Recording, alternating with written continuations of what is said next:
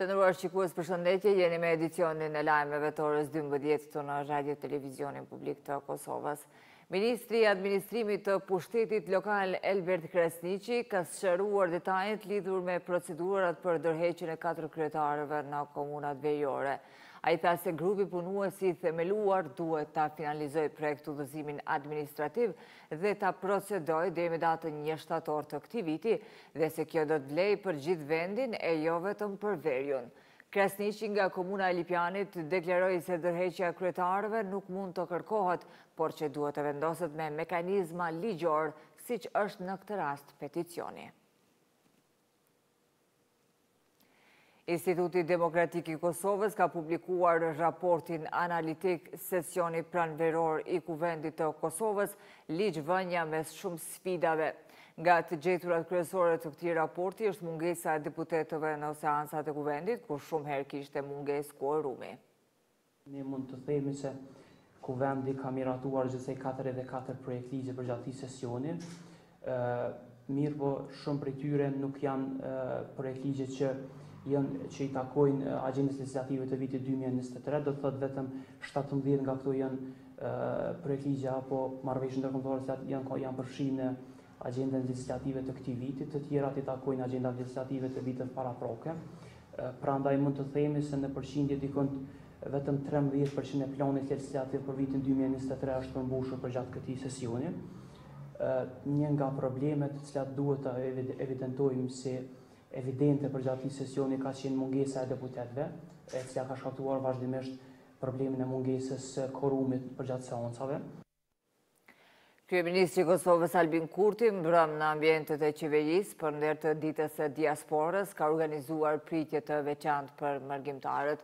Me këtë rast, Kurti njoftoi mërgimtarët e pranishëm për progresin e dukshëm demokratik e ekonomik të Kosovës të evidentuar nga të gjitha raportet ndërkombëtare të besueshme, duke përmendur kështu rritjen mesatare ekonomike, rritjen e të hyrave tatimore, eksportet e investimet e huaja direkte, njëkohësisht rritjen e vendeve të punës, miratimin e ligjit për pagën minimale e së fundmi edhe ligjin për njohjen e kontributeve të punëtorëve të viteve të nëntëdhjeta që kryeministri cilësoi si hap të rëndësishëm në zhvillimin e Kosovës. Kryeministri deklaroi se mërgata jonë ka evoluar dukshëm Vit pas viti, duke zgjeruar përfaqësimin tonë kombëtar, njofton zyra për informim e Kryeministrisë.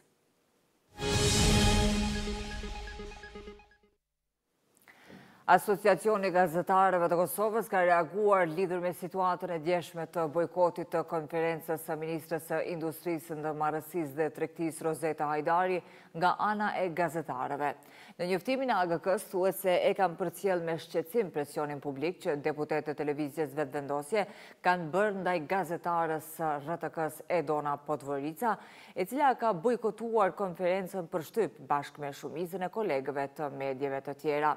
AGK e konsideron bojkotin e së martës si formë legjitime të protestës së gazetarëve dhe medieve dhe fton partinë në pushtet të mos bëjë presion ndaj gazetarëve të mediumit publik. Gjithashtu, AGK fton menaxhmentin e RTK-së të mos ndikohet nga presioni i pushtetit në raport me veprimin e ekipit të vet në terren.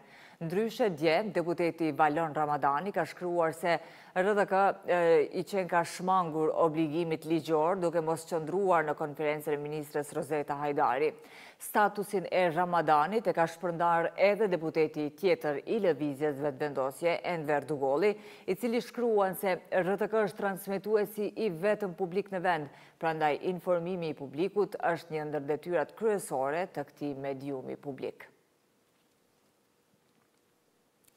Ndërkaq aktivistë të Rinisë Demokratike të Kosovës kanë mbajtur një aksion simbolik te Ministria e Industrisë, Ndërmarrësisë dhe Tregtisë. Nëpërmjet mbishkrimeve, ata kanë shprehur pakënaqësitë e tyre lidhur me hajninë e pretenduar pas publikimit të përgjimeve për aferën e vajit dhe grurit në Ministrinë e Tregtisë dhe Industrisë. Të pranishëm para objektit të ministrisë kanë qenë edhe pjesëtarë të Policisë së Kosovës. Shifrat që lidhen specifikisht me vajin e sheqerin dëshmojnë se kjo ministri ka blerë vaj e sheqer mbi treqind mijë euro prej një kompanie polake. Paret i ka dhonë, po vaji, sheqeri e gruri nuk janë kërkund. Ne po e zhvillojmë këtë aksion simbolik sepse kjo ministri në krye me Rozetën nuk ka treguar rezultat deri më tani, por ka treguar vetëm keqmenaxhim e abuzim të parasë publike. Po shihet qartë që qeveria Kurti, me skandalet e njëpasnjëshme, nuk është tu pasë kohë e as nuk e ka prioritet rininë. Andaj ne kërkojmë dorëheqjen e menjëhershme të Rozeta Hajdarit dhe kërkojmë nga organet e rendit të hetojnë mbi këto skandale korruptive.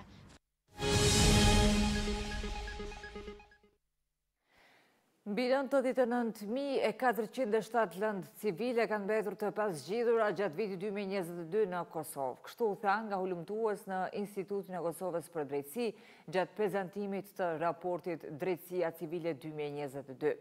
Sipas këtij instituti, ngritjes së lëndëve të pazgjidhura i ka kontribuar dhe joefikasiteti i gjykatësve e shpërndarja joproporcionale e tyre. Gëzim Shala nga Instituti i Kosovës për Drejtësi tha se gjatë monitorimit kanë hasur në moszbatim të ligjit për mbrojtje nga diskriminimi. Në pikat kufitare me Serbinë, Dheu i Bardhë dhe Merdar, vazhdojnë të jenë të ngarkuara nga fluksi i madh i bashkatdhetarëve të cilët po i përdorin për hyrje dhe dalje nga territori i Kosovës. Mërgimtarët dhe kushdo që del nga Kosova po vazhdojnë të presin në kolona të gjata në pika kufitare. Më shumë pritje ka në hyrje të Merdarit rreth një orë e gjysmë. Njësoj qëndron situata edhe te Dheu i Bardhë, ku dalja u merr kohë udhëtarëve nga dyzet e pesë minuta deri në një orë. Sipas të dhënave të përditësuara në mëngjes nga Qendra Kombëtare për Menaxhim Kufitar, përveç këtyre dy vendeve, në pika të tjera kufitare mund të kalohet nga tre deri në dhjetë minuta. Është rritur numri i rasteve të fëmijëve me të vjella e diare. Në spitalin e pediatrisë në Prishtinë, brenda 24 orëve kërkojnë trajtim mjekësor rreth 140 fëmijë, shumica me diare. Përveç me këtë sëmundje, fëmijët dhe prindërit që kujdesen për ta, derisa janë në spital, thonë se po përballen dhe me mungesë të shtretërve, andaj mjekët janë detyruar që pacientët t'i dërgojnë edhe në reparte të tjera e me këtë rast është shpërndarë ky virus edhe te fëmijë të tjerë.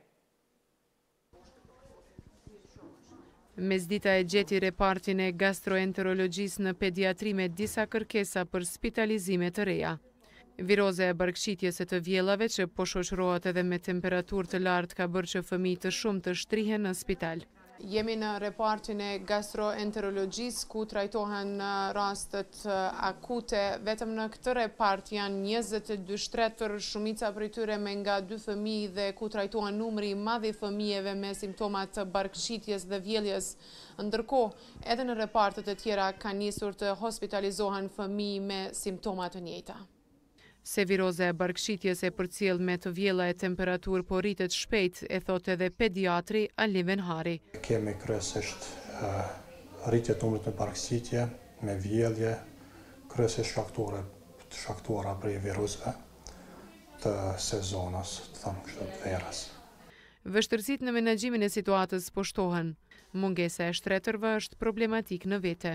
Edhe për neve nuk është e lehtë me i trajtu dy fëmina në shtrat, mirëpo nuk munesh një fëmi mos me hospitalizu derisa ai ka indikacion për hospitalizim.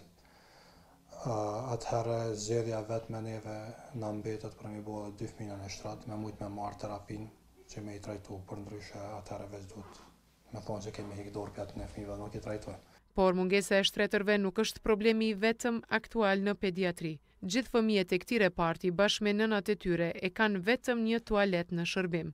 Se vetëm nji tualet është, vetëm një, e këtu janë sa nëna e plus fëmija, Ne jemi tash me barkqitje, këtu s'po pret puna, se po ka çdo njëzet minuta, pesëmbëdhjetë minuta barku që pe qet fëmin, ti s'po ki ka. Do me thonë është veceja e blokume, repar tjetër nuk lojnë me shku, ti dush me bo zgjidhje, une jam me një farë plastike tu e qitë fëmin. Brenda njëzet e katër orëve në pediatri kërkojnë trajtim mjekësor rreth njëqind e tridhjetë fëmijë, shumica prej tyre janë me virozen e barkqitjes e të vjellave. Mjekët bëjnë apel për kujdes të shtuar deri në uljen e temperaturave.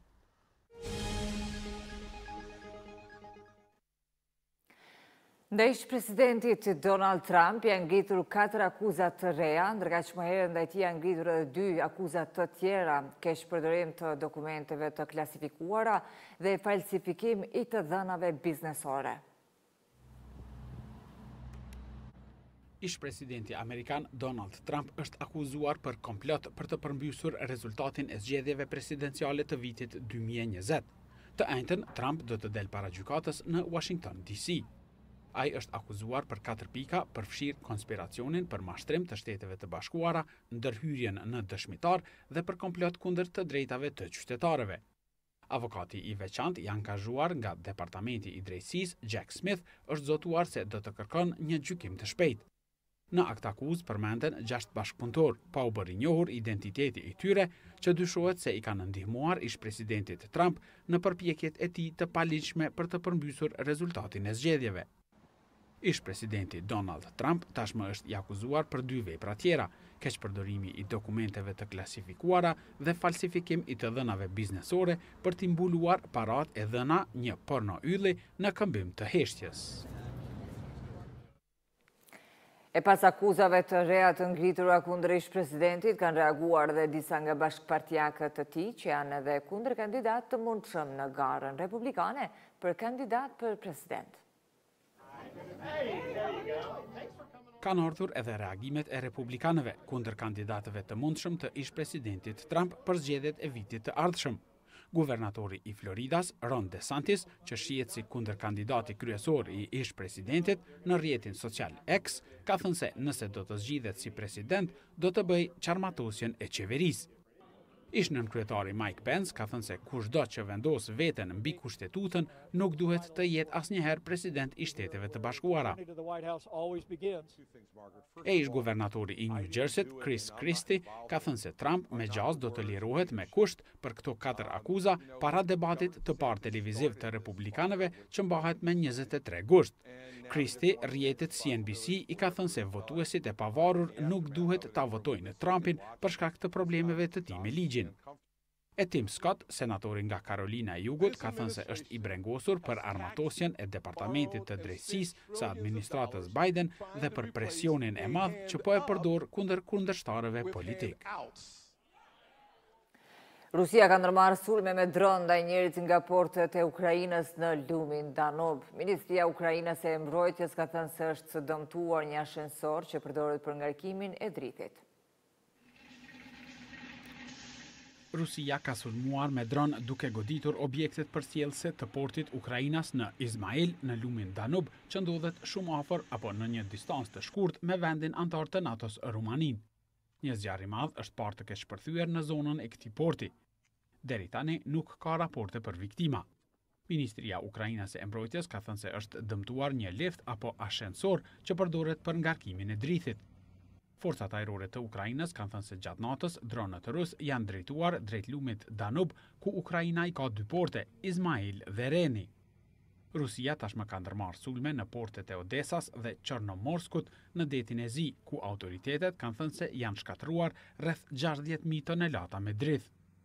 Rusia ka nisur sulmet ndaj porteve ukrainase pas tërheqjes në korrik nga marrëveshja e Detit të Zi për drithin, që ua mundësoi të dy vendeve eksportin e grurit përmes Detit të Zi. që atëherë Rusia ka kërcënuar se do ta ketë në shënjestër çfarëdo anije që udhëton drejt porteve të Ukrainës në Detin e Zi. Ndërkohë, anijet kanë vazhduar të lundrojnë nëpër Detin e Zi drejt porteve të Ukrainës në Danub. Të nderuar shikues, ishte kjo e tëra për këtë edicion të lajmeve, bashkë takohemi me informacionet e reja në edicionin e radhës, atë të orës 13. Faleminderit shumë për vëmendje, mirupafshim.